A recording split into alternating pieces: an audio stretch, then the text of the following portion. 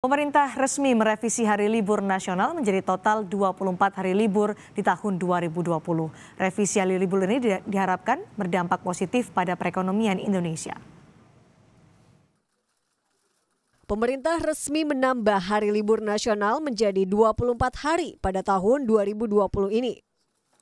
Penambahan hari libur nasional diputuskan dalam rapat koordinasi bersama setingkat menteri kemarin. Penambahan empat hari libur dan cuti bersama ini terjadi pada libur Idul Fitri pada tanggal 28 hingga 29 Mei 2020. Libur Tahun Baru Hijriah pada 21 Agustus 2020 dan libur peringatan Maulid Nabi Muhammad pada 30 Oktober 2020. Penambahan hari libur ini diharapkan akan berdampak positif pada perekonomian Indonesia.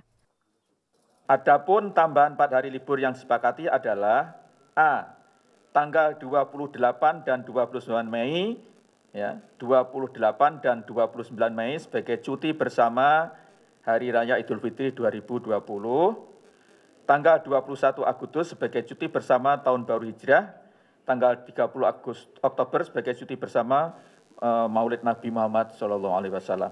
Pertimbangannya apa? Pertimbangannya adalah bahwa penetapan hari libur atau cuti yang tepat akan memberikan dampak yang positif terhadap peningkatan perekonomian nasional.